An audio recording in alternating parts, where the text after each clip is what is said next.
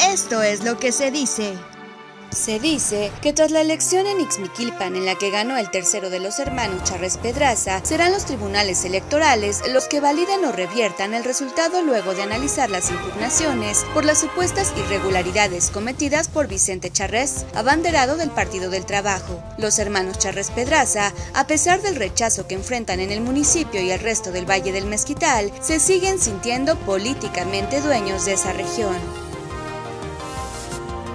Se dice que quien aprovechó el puente del Día de Muertos fue Tania Mesa Escorza, presidenta del Consejo de Pachuca, pues en ausencia de los servidores públicos, inició la construcción de un elevador en el interior de Casa Rul. Habrá que esperar la postura del Instituto Nacional de Antropología e Historia, ya que se está interviniendo un edificio histórico considerado patrimonio cultural, además de que hay asuntos importantes que atender con el tema de la basura. Encuentra aquí las noticias más importantes en Criterio Hidalgo y recuerda suscribirte a este canal y darle clic a la campanita para que no te pierdas ninguno de nuestros videos.